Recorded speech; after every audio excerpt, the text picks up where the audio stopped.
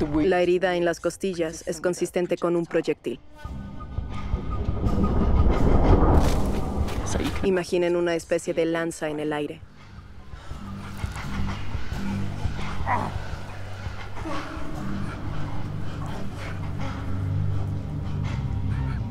Podría ser un accidente de caza. Podría tratarse de un confrontamiento.